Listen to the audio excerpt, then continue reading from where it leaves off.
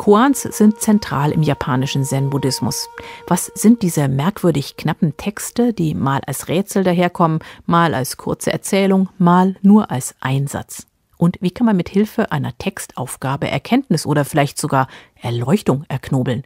Danach hat Mechthild Klein gefragt. Diese Koan in der früheren Tradition sind Präzedenzfälle, Anekdoten, Legenden, früherer Meister und Schüler, die quasi als Modell dessen dienen, wie man sich zu verhalten hat, wie man also dem richtigen Erwachen sich anzunähern hat. Sagt Steffen Döll, Professor für Japanologie an der Universität Hamburg.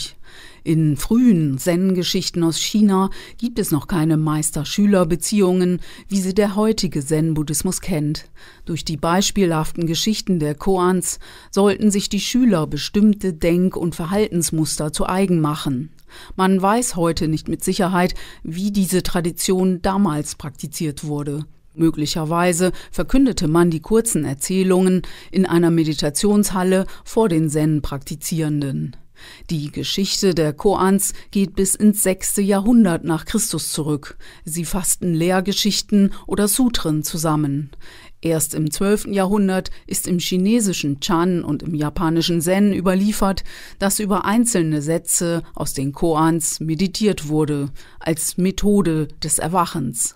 Wir haben auf jeden Fall jene Koan, die sich erstmal einer rationalen Deutung zu widersetzen scheinen.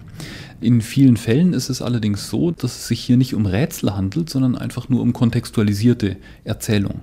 Beispielsweise gibt es die Geschichte von dem Meister, der gefragt wird, was macht einen Mönch aus? Und er antwortet drei Pfund Hanf.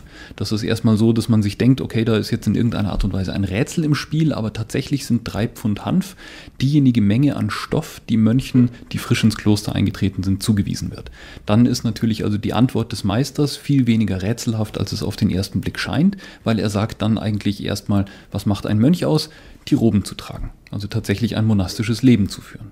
In der japanischen Rinzai-Schule geben die Lehrer ihren Schülern einen Satz als Aufgabe. Die Schüler teilen den Lehrern in Einzelgesprächen in den Dokusan ihre Lösungsvorschläge mit. Auch manche Soto-Schulen im Westen arbeiten mit Koan-Geschichten. In der Praxis, in der täglichen Zen-Praxis, werden diese Koans also so benutzt, dass äh, der Geist des Schülers total verwirrt wird, weil er ja das Ganze nicht durch einen Intellekt lösen kann.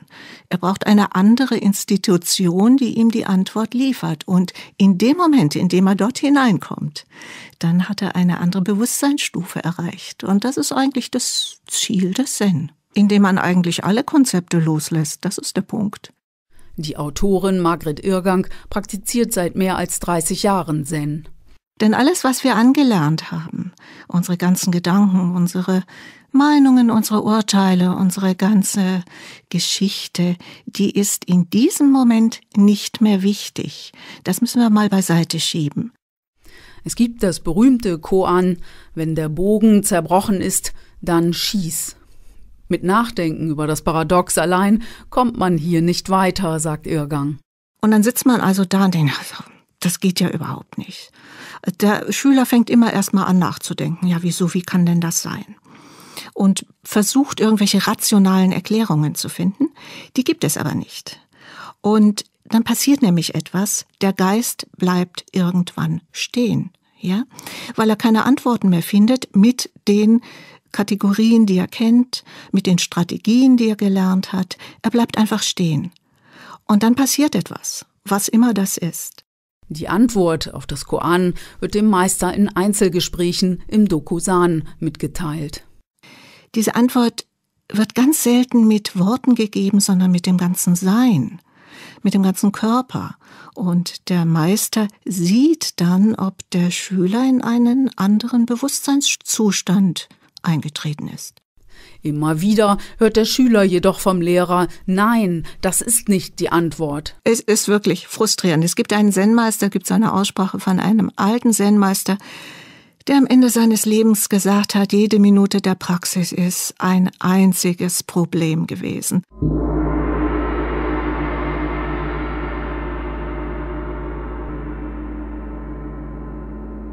Das im Zen propagierte Ziel von Satori, dem blitzartigen Erwachen, ist ein Bild, das für viele Zen-Lehrer heute nicht mehr stimmig ist.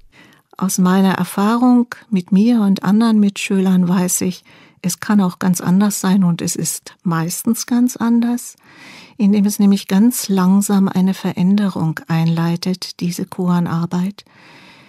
Wir fangen an, anders zu sehen, anders zu denken, anders zu fühlen. Wir kommen in einen anderen Stillebereich. Es gibt Koansammlungen, bei denen die Antworten vorgegeben sind. Doch von solchen Sammlungen hält die Meditationslehrerin Margret Irrgang überhaupt nichts.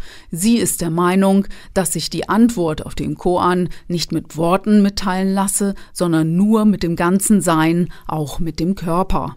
Und man sieht, ob jemand das Koan gelöst hat oder nicht. Es ist eine Erfahrungsebene. Der Zen-Schüler bringt seine ganze Persönlichkeit mit ein und es liegt auch an der Beziehung zum Meister, wo er interveniert und welche neuen Wege er weist.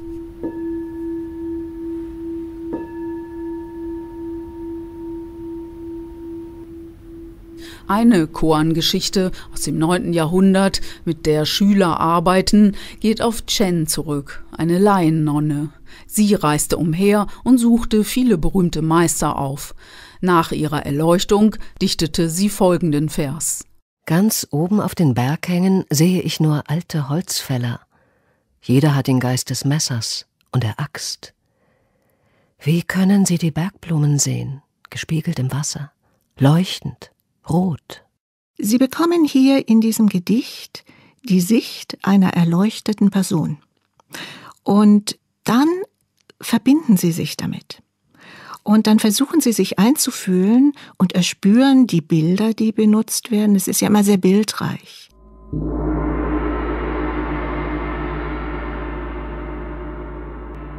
Also ganz oben in der jeweiligen Hierarchie oder in der Politik. Hm? Da sind ganz bestimmte Leute.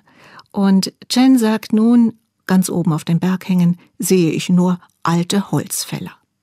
Das klingt sehr abfällig. Hm? Und was sind alte Holzfäller? Sie fällen Bäume.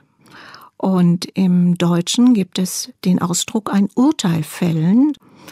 Und mir fällt auch ein, wie viele Urteile gefällt werden von Leuten, die ganz oben in einer Hierarchie sind, oben in der Politik, oben in irgendwie als Priester, als Therapeuten. Es werden sehr häufig Urteile gefällt. Und wo ein Urteil gefällt wird, wird etwas oder jemand verletzt, vernichtet möglicherweise, ja. Und das ist schon mal gar keine Zen-Haltung. Man kann die eigenen Beziehungen und sozialen Umstände im Licht solcher Gedichte sehen, denn den im Gedicht beschworenen Geist des Messers und der Axt trägt jeder irgendwie in sich. Der Geist des Messers und der Axt ist der Geist des Urteils, aber auch der Geist der Unterscheidung, und das brauchen wir ja auch. Aber wenn wir verurteilen, oder etwas zerschneiden oder vernichten, dann ist das Messer falsch angewandt worden. Ganz simpel. Das Zen ist sehr einfach. Margret Irrgang glaubt nach vielen Jahren der Zen-Praxis, dass das beste Koan der Alltag selbst sei. Dabei geht es um eine allmähliche Veränderung im Zen-Geist. Dazu gehöre es auch, Mitgefühl und Menschlichkeit zu kultivieren. Und ich bin sowieso der Meinung, dass Kinder zum Beispiel die besten Zen-Meister sind. Denn die konfrontieren uns gnadenlos mit allem, was in uns noch nicht angeschaut wurde, mit unserem Ego, mit unseren Konzepten. Also eine Mutter, die Kinder hat, die hat ganz schöne Zen-Meister im Haus.